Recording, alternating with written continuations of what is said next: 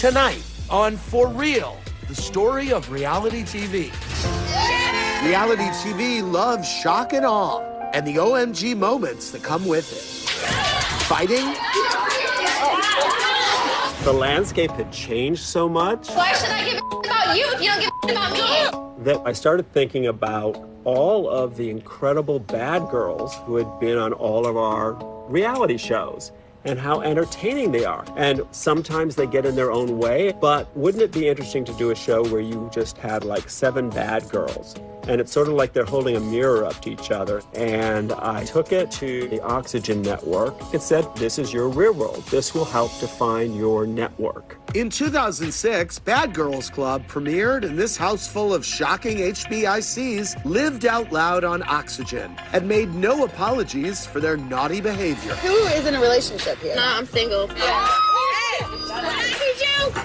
Oxygen sees this spike in ratings with this young, diverse cast. I can't imagine being filmed when I was 20 years old. When you're discovering yourself, some of these women are more outspoken, slightly more aggressive.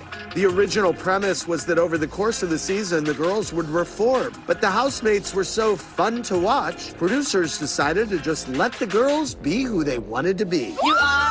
Casting bad girls was always a challenge because you need young women who live life fully, loudly, and don't follow rules. The casting calls were wild for Bad Girls Club. They were like a dance party. It was like a nightclub at nine o'clock in the morning. You know, if we were doing it at a bar, let me just tell you, they made their money that day. I am a big drinker. Most of them had rolled straight from a club. Can't remember she made the show or not. This woman was being interviewed, and you could hear this, um, zzz, you know, like this hum, right?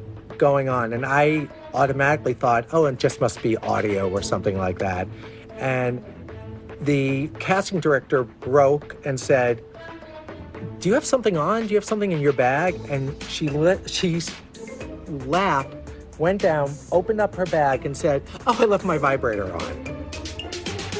And I had not seen that in a reality casting tape ever. I'm young. I don't want to be tied down like what the f- is cracking. I literally was just telling it all. I cried. I drank some Grey Goose.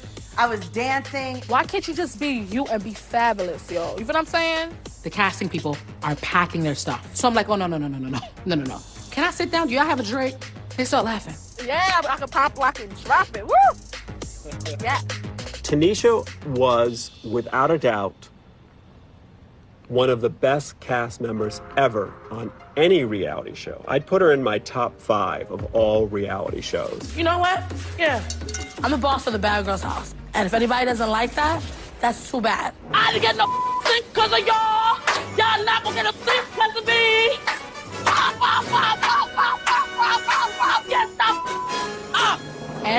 Everybody wants to know the backstory.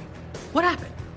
What the hell made you get up and bang the crap out of pots and pans? There's seven crazy bitches in the house, and they just refuse to let you sleep. I'm, I'm, I'm afraid I might end up in jail with one of these girls. There's no hitting, there's no physical touching, so you're gonna have to find another way to release whatever it is you're feeling. I'm like, what other way? All right, I'll get something louder. No, I don't feel bad about it. I, I, uh, I have no regrets.